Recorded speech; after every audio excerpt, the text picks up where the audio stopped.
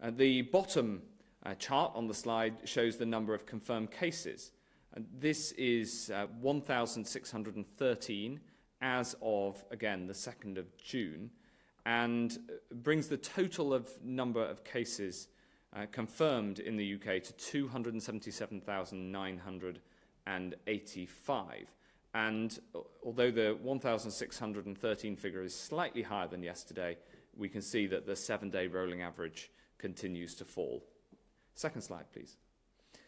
The data from hospitals show that those uh, new admissions to hospitals in England has fallen to 436. Uh, this is down from 471 um, on the 24th of May, so uh, just over a week ago, and down from a high of 3,121 on the 2nd of April. This figure of 436 admissions to hospitals in England uh, with COVID 19 is the lowest figure since the 20th of March, and it demonstrates once again that we are making progress against this disease. Again, as yesterday, the, the proportion of mechanical ventilators, uh, ventilated beds that are occupied by patients with corona, coronavirus uh, remains at 9%. Uh, next slide, please. Thank you. Um, just like um, yesterday, the number of people in hospital continues to fall. 7,607 are now in hospital with coronavirus, and that is falling uh, in broadly falling in each part of uh, the country, uh, but for a little bit of day-to-day -day movement in some of the areas. For instance, as you can see right at the end of the chart for the northeast and Yorkshire, uh, but uh, we keep that very closely under review. But the overriding trend, as you can see, is downwards. Uh, the next slide is the number of uh, deaths. And sadly, on the, uh, on the 2nd of June, yesterday, 324 deaths with coronavirus were recorded, taking the total to 39,369. And we mourn each one of these. And we try to keep these data as accurate as possible including where we find in, in the past um, those, the, the, in some cases, there are deaths where we discover that there has been a connection to coronavirus and we add those uh, into those, uh, those data. So we can see that, the, again, the trend is broadly down, uh, but there is still some way to go Uh, and uh, after the weekend effect, which we've seen each weekend in terms of the number of deaths recorded, because these this is according to the date these are recorded, we've seen that rise on, a, uh, on, on, a, on most Mondays. Um, and sadly, the figure is 324 today. Next slide, final slide, please. Um, the, uh, the final slide reports on data from the Office for National Statistics, which was reported this morning uh, and reported a total of 48,106 deaths in the UK where COVID-19 was mentioned on the death certificate. Uh, and you can see that this, again, this number is falling. The, the top chart uh, shows those, those data um, and shows where we were on the recorded daily deaths uh, data for the period that corresponded uh, to these data coming from the ONS. On the bottom chart, we can see the place of occurrence of those deaths. And you can see that both the number of deaths and the proportion of deaths that are in care homes, both of those are falling.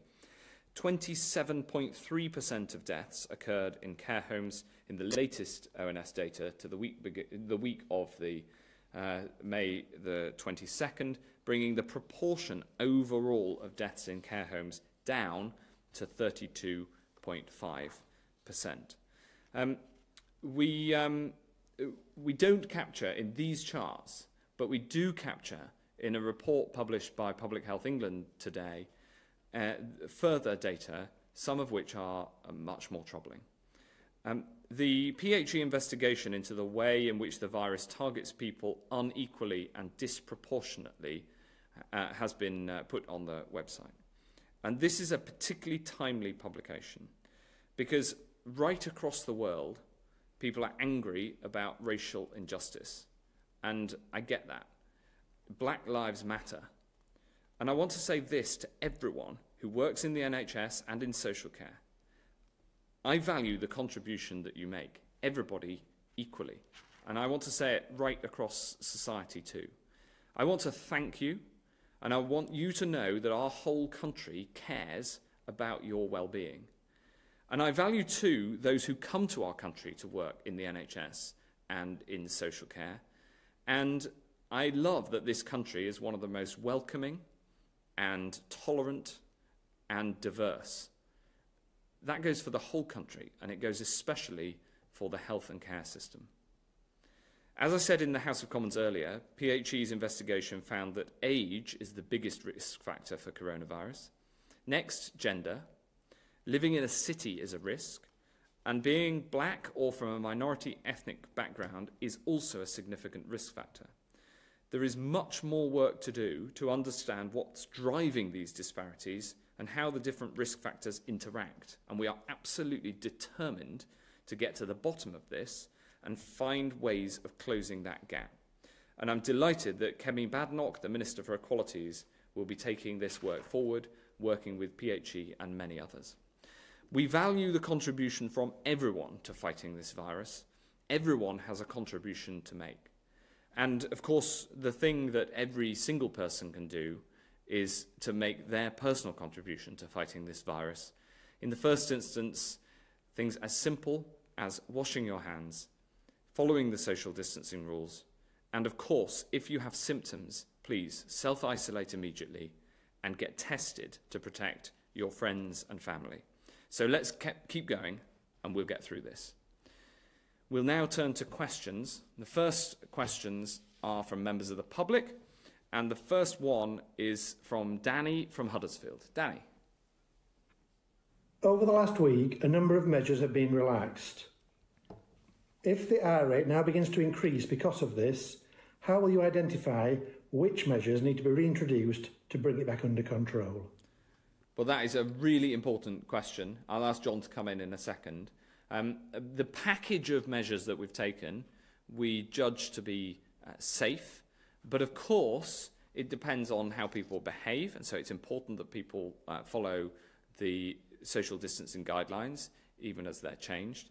Um, we'll keep it under review. We then, if we need to make changes, we can either make them at a national level or a local level, and that'll be determined by where we see any uh, outbreaks, if we see them. Uh, and then at a national level, we can look, uh, we can look right across the board. Uh, but our, and of course, we've been clear from the start that if we need to, we will bring in further measures. But we've chosen these measures in order to be able to relax some of the most stringent parts of the lockdown whilst also keeping people safe. John.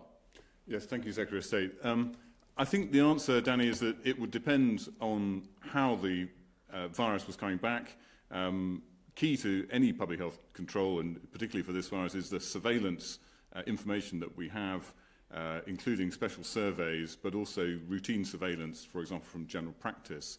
Um, so if it was, uh, if the virus came back in a particular setting, whether it was a healthcare setting or, or perhaps in, um, uh, in uh, a prison or whatever, then you can undertake a lot of testing and infection control in that setting. If it comes back more widely in particular groups, then there would be different measures that could be taken.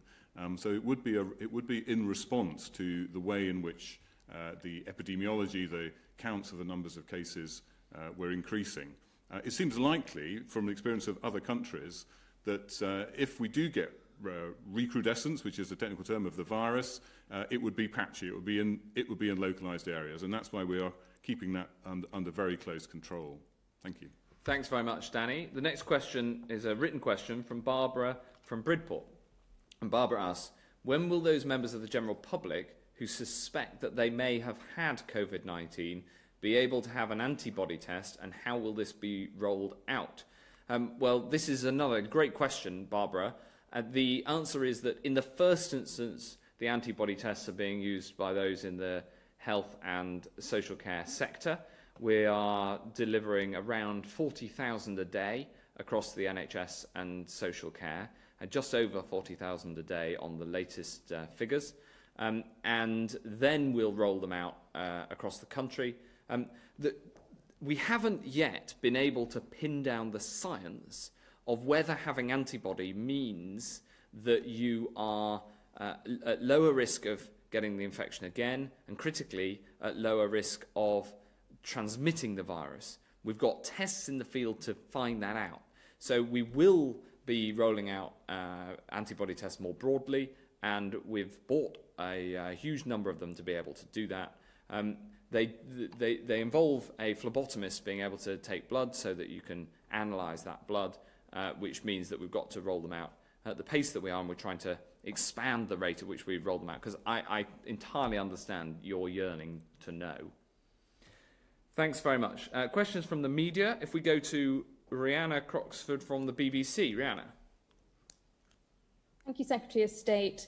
Many people from black and minority ethnic backgrounds will be confused why it has taken six weeks for the government to simply confirm what studies have already shown that they're dying with COVID 19 at significantly higher rates. Deaths from all causes in this period have been up to four times higher on average for people from these backgrounds, and this hasn't been fully explained by today's review. Firstly, how can you explain this disparity, which hasn't just been caused by the virus, and why haven't you done more to protect and support these communities? And if I could also please have a response from Professor Newton. And secondly, on behalf of a colleague, you've been criticised by the stats watchdog for the presentation of the virus testing figures. Isn't that embarrassing? over such an important policy area? Thanks very much. Um, I will, if I just address the second question first, uh, and then I will, both John and I, I'm sure, will uh, answer on the first, which is so important. On the, uh, on the second question, um, the, the, uh, the way that we present the stats is the best that we can in the having built the testing program so rapidly over such a short period of time Uh, we are working with the stats authorities to be able to, to present these statistics in a way that they're happy with uh, and to make sure that we're as transparent as possible. Uh, I spoke to Sir David Norgrove today, who, uh, who is the, the head of the UK Statistics Authority, uh, and we'll be working with them to make sure that these statistics are, uh, are constantly improved. Uh, but uh, the way that we present them is the, is uh, the simplest way of presenting a very complex picture of the overall five different pillars of testing, and that's the approach that we've taken. On the first part of your question about the report from Public Health England, you know, I, I, I think this is an incredibly important area. I've been really struck by the, the, the, the clear difference in the proportion of people who are dying with COVID-19 uh, from ethnic minority backgrounds, and I wanted to get to the bottom of it. So I asked Public Health England to do this work uh, by the end of May. They've done that.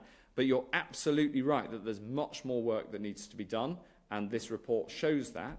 So we're asking, I've asked the Equalities Minister, uh, Kemi Badenoch, to take this forward and to look into the, the causes and what further can be done. And, uh, and Professor Newton's been involved in this work from the start.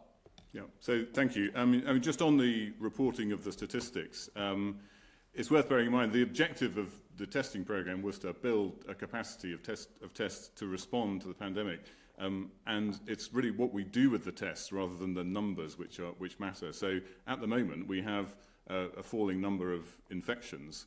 Um, and what we're really keen to do is to have really high quality testing that's delivered quickly and and uh, very available. So um, the, uh, the, actually just the numbers of tests isn't a measure of how effective the program is. It's this, whether we're testing the right people, testing them quickly and getting the results back. So uh, we're happy to report the numbers in any way, uh, in any way that, uh, that, we're, that we're asked to. Um, on, on the review is, a, is an important piece of work. Um, uh, there was a great deal in it, uh, a lot of different factors looked at. Normally, a report like this would take us a good six months. So we've actually produced uh, the sort of analysis that, that in, in a relatively short time. Um, as you say, some of these data were already available, so the uh, Office of National Statistics and other research studies have already published. So we've confirmed that, and it's important to have confirmation from a number of sources. Um, as you say, uh, we weren't able to look at all the potential uh, explanations, but in particular, you mentioned the uh, all-cause mortality being four times higher, or actually 3.9 times higher in, in black men, for example, than Uh, uh, than in normal times. Uh, and it's raised by 1.7 times in, in white men and, and two, I think 2. Uh, 2.9 in Asian men. So there are a number of statistics in there. Uh, it's quite a long report, and there's a great deal of, of background information and detailed information that we think will be helpful. What we'd really like to do now is to get a lot of discussion about all these elements with, in particular, with a lot of the people involved and the various groups involved in responding to it. Uh, so we think the report will be helpful. Um, some of it was available before, but there's quite a lot of new information there. Uh, and it's not, it's not uh, easy to, uh, to go directly from the analysis to uh, making recommendations, and we need to uh, uh, get the report widely disseminated and widely discussed before I think, deciding uh, exactly what needs to be done. But clearly there are some fairly obvious conclusions that can be drawn even from the data that we have. Can thank I you. please follow up on that? Yes, of course, yeah. Mm. Just you know, firstly, thank you for acknowledging that Black Lives Matter in your opening speech, but lots of people are already going back to work scared that they're not being protected, and there'll be no measures announced today, as we had expected, perhaps be put in place to protect them. Can you say anything to these communities? And if not, can you give us a time frame or a deadline when they will get recommendations about how they can protect themselves going forward, considering that this risk won't be going away?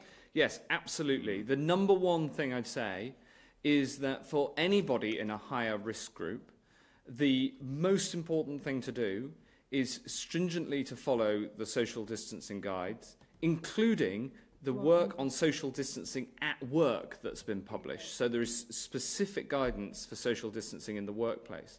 So for all of the different high risk categories that the data demonstrate, it's really important that people uh, follow those social distancing guidelines uh, very stringently. You know, we've been very clear about this from the start about um, those who either have a medical condition And as the PHE report says, age is the number one risk factor uh, because um, uh, around 90% of deaths are amongst the over 65s. Um, so uh, the, the, the, uh, the, answer, the direct answer to the question is, this, is the same as to everybody but with more emphasis, which is that the social distancing is the best way to keep yourself safe and keep others safe alongside the hygiene and washing your hands and making sure that if you have symptoms, get a test. And I totally understand the concerns that people have, uh, and I understand the, um, uh, the anger that's, that people feel more about racial injustice more broadly. And I share it, and we want to tackle it. We, I fully acknowledge that, and it is very, very important that we address that uh, as I'm trying to do within the NHS and social care that I'm responsible for, and I think we need to do across society as a whole. Thanks very much, Rhiannon. Is that okay? Yeah. Emily Morgan from ITV. Hi, um, if I can pick up on something that Rianna said, you launched this review, Secretary of State, this review published today with a huge fanfare to look at how COVID 19 was affecting ethnic minorities. One of the objectives to the review was to make recommendations. Where are those recommendations and will you be publishing any anytime soon? Well, absolutely. We need to take, go through the next stage of work um, to make sure that we take into account all of the different considerations. For instance, the PHE report sets out that it doesn't take into account comorbidities, uh, different occupations, because different people in different occupations have different risk factors, um, and of course, um, the um, uh, um, uh, health, other health factors like uh, obesity. We've got to make sure all of those are taken into account and, and scientifically, rigorously understand the causes behind the, uh, the data that are clearly shown today and take that uh, and take the lessons from there. John? Well, yes, thank you. I mean, I think the recommendations are, there are recommendations there, but they're perhaps They're, they're more to do with the fact that these are important data for people to be aware of, because as Secretary of State has said, I think even understanding the levels of risk associated with different factors is itself important in designing uh, programs to protect people. And in fact, the NHS has already uh, started a process of risk assessment for staff using these sorts of data. So, so there, are, there are recommendations there, but um, there, is there are still some questions. I mean, what we do show is that there's no simple, if you take, I mean, there's a lot more than just the uh, ethnic uh, differences in the report. There are differences to do with levels of deprivation and where people live and occupation and so on. And all these causes are the causes of, of health inequalities anyway. Mm. And actually what the report emphasizes is the fact that what COVID-19 has done is to emphasize the existing health inequalities in the country. Uh, and it shows us again that we need to address those inequalities, whether they're to do with deprivation or to do with people's, um, people's background. Um, so in fact, the, uh, to some extent, the, uh, the, the recommendations that have been made before about similar issues still apply. What we have, uh, uh, what we have put forward is uh, some data that can be used. Secretary of State mentioned the, um, the, the, the relevant minister and the, um, the Race Disparities Unit who have already looked at the data. And I think we will be seeing some recommendations coming out. But it is important that those recommendations are widely discussed with a lot of other groups, not just from Public Health England. But we, we think the data are going to be important for those processes. Thanks. Just, yes, of course, yeah.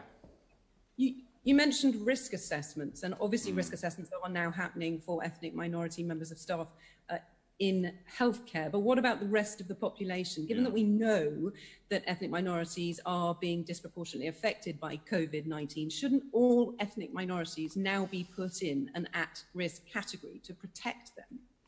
Well, if, if I may, Secretary, I mean, the, I mean the, the key point of the, of the study is it shows although clearly outcomes are worse for people in, in uh, black and, and uh, minority ethnic uh, groups, uh, that is not necessarily because of their ethnicity, but exactly as you say, it may be related to their occupation or to other, other reasons why they might be at higher level of exposure. So one just has to be a little bit careful uh, in, in doing that risk assessment. One has to look at the causes of increased risk, uh, which uh, may be as much to do with other factors, uh, not necessarily someone's background per se, although it is, there is probably an element of that as well. So it just, it, the, the report, if nothing else, emphasises the complexity of what we're seeing. So really we're urging people not to jump to conclusions and, and institute, institute measures which are not really justified by the, by the data.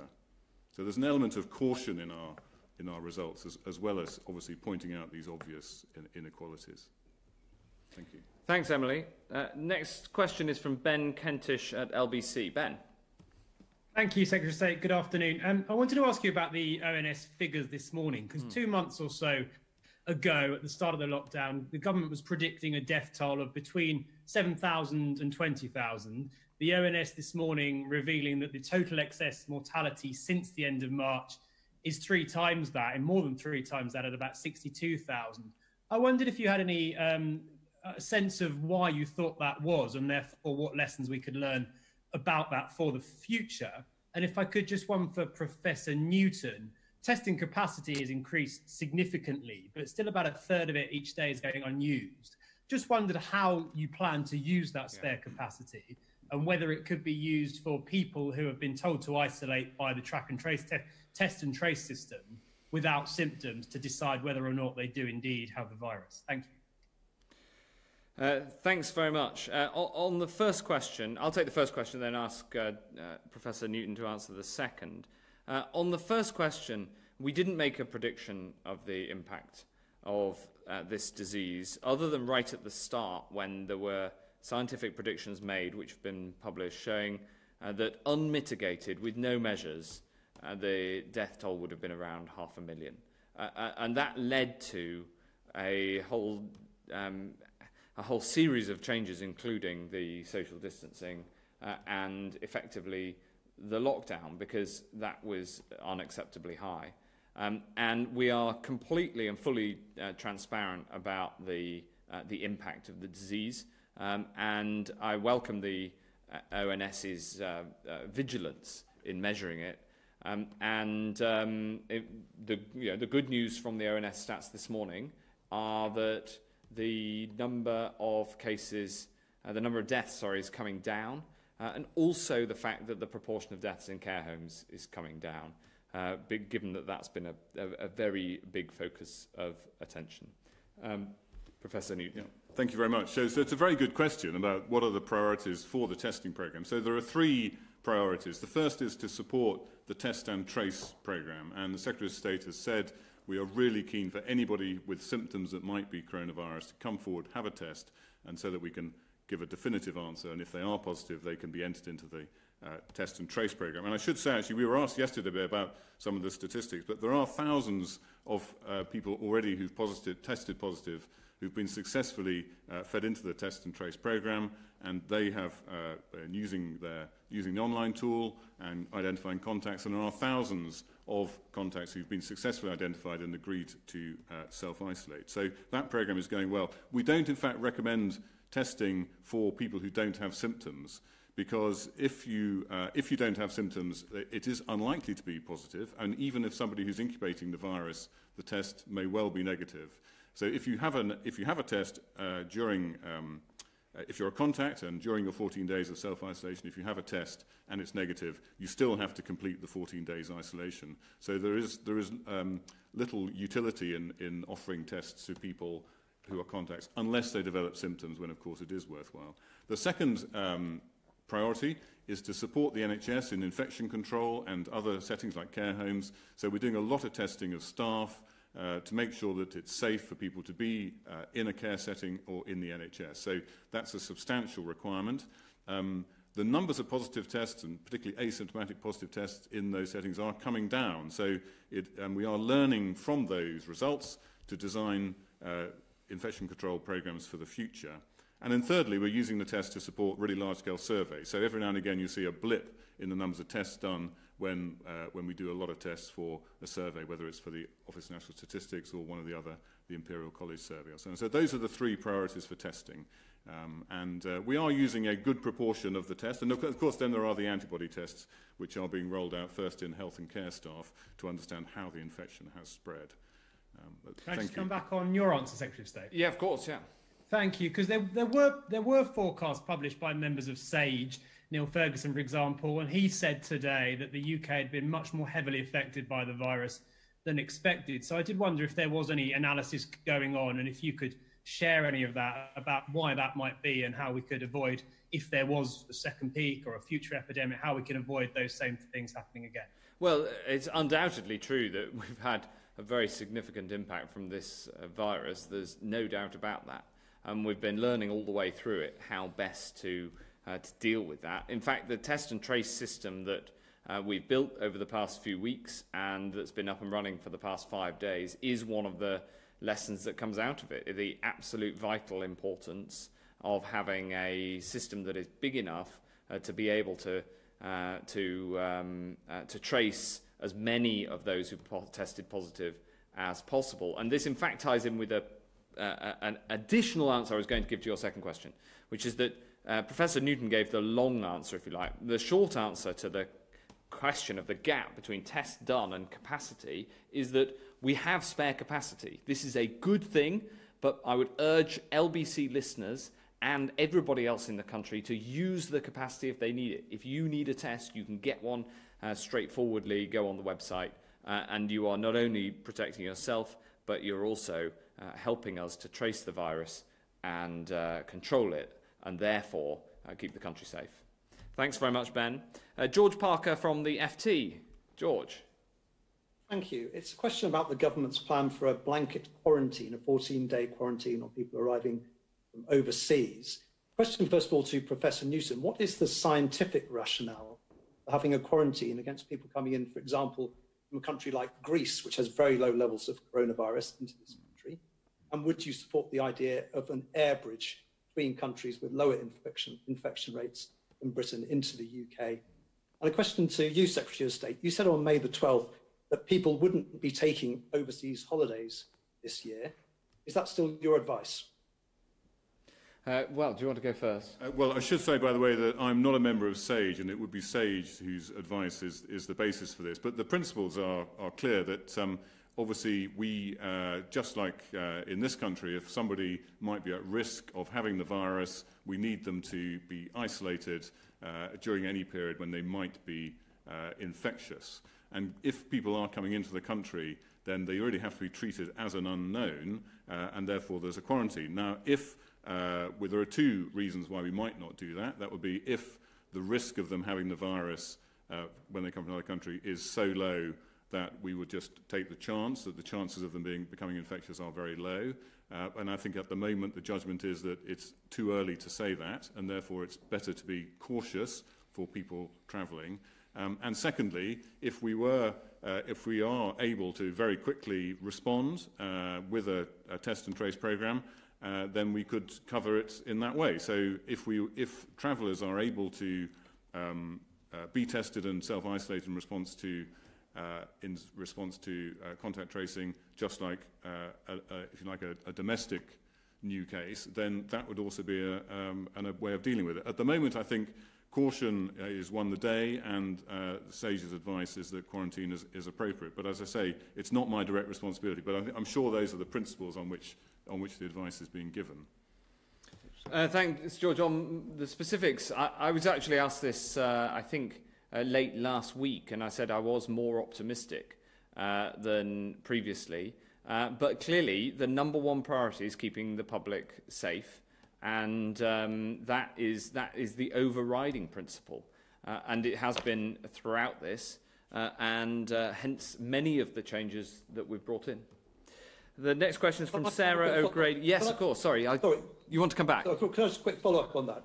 Sure. Um, given that the UK has one of the highest infection rates in Europe, can you give any indication of which other European countries are interested in the idea of an air bridge with the UK? Well, this air bridge idea has been uh, floated, uh, and uh, I know there's been a lot of discussion about it, and I know that some countries have been mentioned in the media, um, but that is a piece of work that's being done by the Home Office and the DFT, uh, and um, I'm not going to tread on the toes of my colleagues, no matter how tempting it is. Um, thanks, George. Um, the next question is from Sarah O'Grady uh, from the Daily Express. Sarah. Hello there. My question is to you, Secretary of State. Um, the spotlight has shone on the pressures faced by our social care system through this um, coronavirus pandemic like never before. And I would like to know, please, so I can tell readers of the Daily Express, what are your plans and what is your time frame for the long promised radical reform of social care? Well, I'm, I'm glad to say, Sarah, that we absolutely need to make those reforms to social care that have been, in my view, uh, pushed to the side for too long. Uh, we made clear commitments in the manifesto, which was only back in December, and we have been working on that, uh, on that piece of work even during the coronavirus crisis. It's incredibly important to me that we put social care on a sustainable footing. And I think one of the positive things amid the, uh, the terrible things that have happened during this crisis is that people have recognized social care as for just how important it is. And I think everybody who works in social care has seen the whole country value them. We need to follow that up with reforms to the way that social care is supported to make sure that more people get that dignity in their older age and the people of working age who are in social care get the support that they need. So I am I'm very um, I'm, I am very keen to I, I'm, I'm determined to push forward the social care reforms that I know so many readers of the Daily Express are, are interested in. Can you give me an example, please, of one of those reforms? Could you well, give us an idea of perhaps the time frame? Well, the time frame has been um, clear, which is that we've got to get these reforms done um, in this Parliament, and the Prime Minister has previously said that we'd uh, get them uh, set out this year. That was before coronavirus. We'll still try to do that, but it is not straightforward. Um, and um, what I can say is that the crisis itself has demonstrated many of the reforms that are needed, like closer working and co collaboration between health and social care, like the uh, in, like increased financial support, which we'd, which we'd already committed to for social care, and then we've put more in uh, during the crisis, and making sure that some of the injustices in social care are taken away, uh, especially about how it's paid for. Thanks very much. The final question is from uh, uh, Vic Motune from The Voice. Vic. Secretary of State, many thanks. Um, I'd like to ask two questions, if I may, and address them also to uh, Mr. Newton. Uh, given the disproportionate way in which COVID 19 has affected people from Black, Asian, and minority ethnic communities, there's understandably a lot of concern, a lot of anticipation about this report, the Public Health England report, and what it might say. However, the disappointing lack of recommendations is, is certainly going to um, you know, affect many. Uh, already we've had a number of uh, emails from readers of The Voice citing this as another example of government indifference to the kind of inequalities that you mentioned earlier on in your address. How will the government um, address and reassure members of those communities that this isn't just another report? The second question I'd like to ask, as you know, the statistics show a clear link between the um, uh, people working in um, public uh, frontline communities, uh, frontline jobs, and also their chances of um, contracting COVID 19. Uh, many people from BME communities are in frontline jobs such as health, uh, healthcare, transport, social care. But local authorities around the country have been very quick to protect BME employees through things like risk assessments. How will the government follow their lead? Well, uh, thanks very much, Vic. And I, I, in a way, the second question, the second question answers the first in that we've already taken action because it's been clear right from the start. You know, I remember that the first four deaths of doctors were all people from uh, uh, black and Asian minority ethnic backgrounds. Um, I think that uh, I think three of the four had uh, come to the UK to serve in the NHS, um, and it really struck me, and this was right at the start, um, that there was clearly a disparity, and we've seen that disparity. And I think in your second question, you've touched on some of the reasons, and we need to we need to do more work, which is why we've published this and are saying we're, do, we're taking it further. Um, because the link to the occupations that, that people do is an important part of this conundrum. Um, and putting in place risk assessments for people who are in high risk occupations has been something that we've already been doing uh, the work on. What we need to find out, and we don't yet know from this report, is what over and above the impacts of being in a certain occupation, like, for instance, as you say, being more uh, on the uh, front line. And one of the biggest impacts is of, is of people who work in transport, where you can't isolate, so like taxi drivers, um, and how much of the disproportionate uh, uh, uh, number of deaths that we've seen from people from BME communities are due to the, uh, the fact that there's a higher proportion of um, people from those communities who work in the sorts of occupations where the risk is greater, um, and how much is down to, uh, for instance, the, um, uh, the di differences in, uh, in housing, because we know that urban areas are more badly hit than rural areas. And so it's the wider co-determinants that we need to get to the bottom of. And that's the work that, uh, along with uh, PHE that Kemi Badenoch will be leading in the next stage to make sure we, we look as broadly as possible. And all the way through this, we've been putting in place the actions that we think have been needed from the evidence that we've got, um, and, and, and we, we need to keep doing that. John. Oh, thank you, Secretary Yeah, I mean, the, the, so the, the purpose of the report was to try and get every bit of information we could from the existing data, try and understand how the different factors work together. So not, not just uh, ethnicity, but the other factors which are often working alongside ethnicity. And many people, of course, suffer from multiple disadvantages as well. Um, so we're trying to put all that into, into context and, and really present it as clearly as we could. And it is complicated. Even after we've done the analyses, it is still a complicated picture. So trying to get that absolutely clear so that people could then take it forward and develop the right recommendations. And I think you know, there's a, um, the, the, the, way we would, the way we would do this is uh, it, it is such a way that the people who, uh, we're trying to put the information into the hands of people who can use it to make a difference. And that's often, it's not us as the public health authority, it's more likely the, you know, the pe people that, that you, you work with and know who will know how to use these data to make a difference to people's lives. Um, so there's a whole range of people who need to contribute to these recommendations, certainly not just us as Public Health England. Uh, so we, we presented, we've done the very best we can to understand what the data tell us already. There are some things that we still don't know from the data, and there's a research program that um, that's been kicked off to try and, try and elucidate some, some of the genetic analyses and some we haven't done yet. But we've, we've done the very best we can to make those data available to people so that really, really good recommendations can be developed, which will really make a difference to the outcome. But, but thank, thank you. Thanks. Have you got a... Fo- yeah, yeah, if I if I may ask, so you mentioned that there will be a follow-up uh, report and inquiry. Do you have any timelines as to when that follow-up report, you mentioned it will be headed by Kemi Badenoch. Do you have any timelines as to when that might be? Obviously, the concern